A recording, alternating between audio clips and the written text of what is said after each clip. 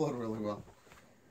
Hey guys, this is Brent and Josh from Idaho Prepared. Today we're going to talk about a bug out plan and uh, try to get your guys' wheels spinning when it comes to preparedness and what preparedness means for you. Um, just to touch base on, on what I mean by all this is, you know, what's going to cause a bug out situation for you? What what is, where is your alarm? Where is your red flag? Um, like, uh, you know, if the power goes out, are you going to grab your bags and go, or are you going to wait and see if your neighbor's power's out too, or if your city or your state's power's out? I mean, what what is your trigger, um, for lack of a better term? Check Um, the breakers before you just start grabbing your stuff. exactly, and that's that's what we mean. You know, do you have a plan in place to um, be able to quickly investigate what's happened and where we're at, or um, do you have the supplies to, if you see guys falling out of airplanes, paratrooping in as a foreign invasion, um, are you do you have things ready to go right now? Um, for me personally, I know how long it takes me to get all my things, my bare minimum, into my vehicle and get ready to go, and that time limit is 17 minutes. Um, I know how long it takes me to get above the interstate where I live um, into safer ground. That's 12 minutes.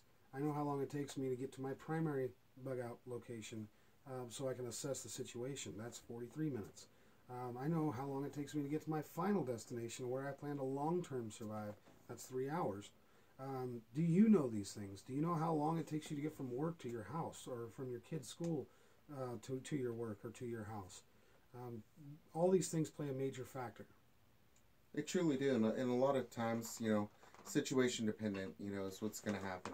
You know, there's situations where obviously it's not going to be the most appropriate option for you to just bug out. Right. Um, in a situation like that, let's say you know the power does go out. Are you prepared not only to take care of your family, but have you evaluated your neighborhood?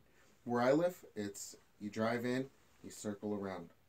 So I can easily say, do I have enough stuff that I can make it a vested interest for everybody else to protect my property? Do I have stuff that I can barter with them? Make it to where they're not coming to try Right, and take right. stuff from me. So those are all things to take into consideration. Carrington event, right? Which is a natural EMP or a man-made EMP. You know, I work in downtown Boise.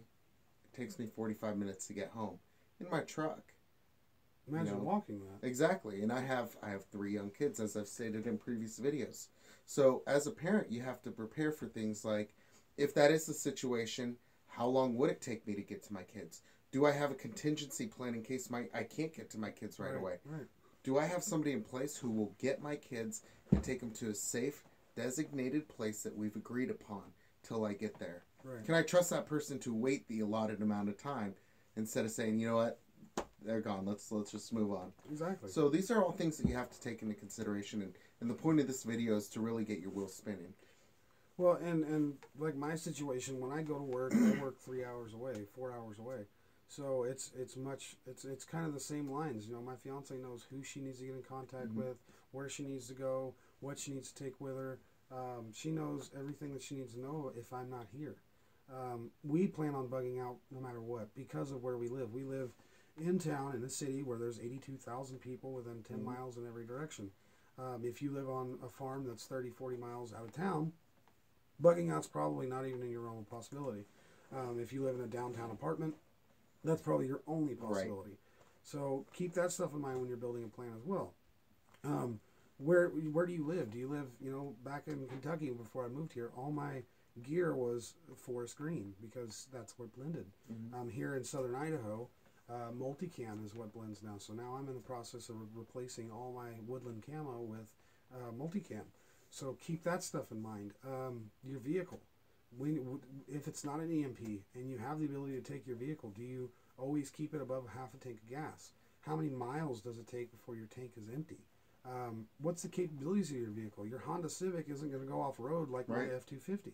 Um, you know, it's it's just you have to think about these things and prepare for them. Are you planning on leaving on horseback? Do you have horses? Um, what does your situation benefit? Uh, what benefits come to you from your situation um, versus you know what would just be overkill, for lack of a better term? Right. Um, not everybody needs a, a, a bug out trailer full of supplies. Not everybody Right. needs 10,000 gallons of water on their property. Me personally, I have 100,000 gallons of water storage that, that I carry in the, the form of a water filter. I have an endless supply of food um, in the form of hunting and trapping skills and, and fishing skills.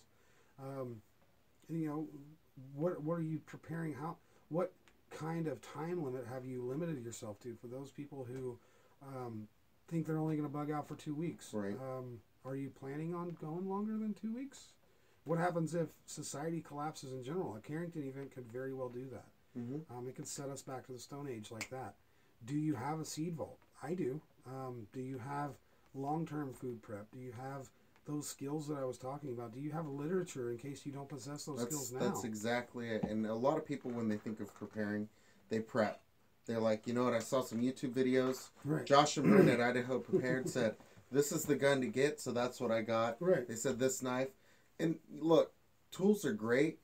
They're gonna be your your best friend or the biggest piece of garbage you've gotten Right. if you don't prepare yourself mentally. And that's the thing, really.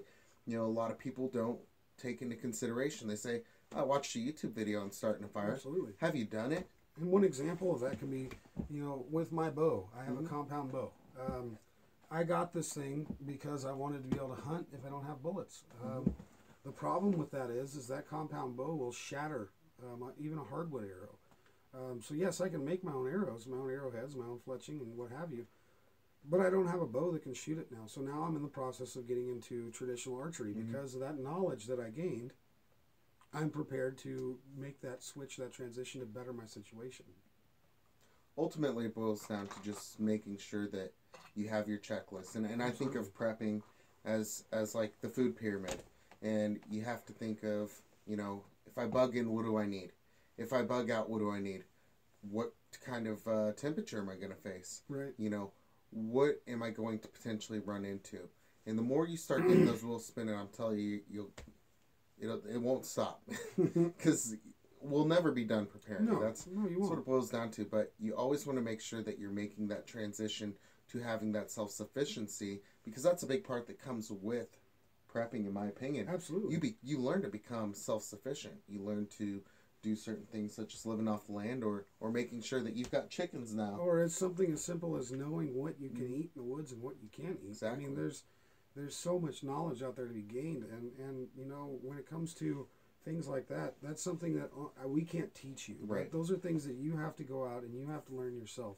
I can show you books on these videos, but only you can go out and read Mhm. them. Um, only you can figure out how you're going to take that knowledge with you, whether it be coming back for it later or taking it with you when you leave or reading it so you have it in your brain.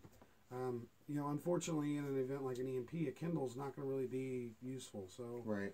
you know, having all those online books and things like that, that's that's that's useless in my opinion. So really keep that in mind, guys. You need to you need to think about this not so much in a physical aspect, but as a mental aspect as Mhm. well.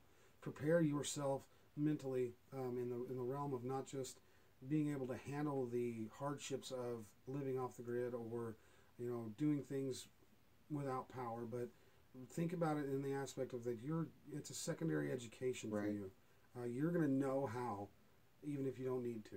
and apply it. And even if it's in small doses, you know, as you as we went through his bug out in our bug out video, uh, you'll notice a lot of the stuff he had was out and it was used. And the reason that is is because you like goes back to education, knowing how to do those you know specific skills. So make sure that you're also testing those. You know, you've seen the riot mask video I made showing you know where I got pepper sprayed, was able to breathe fine.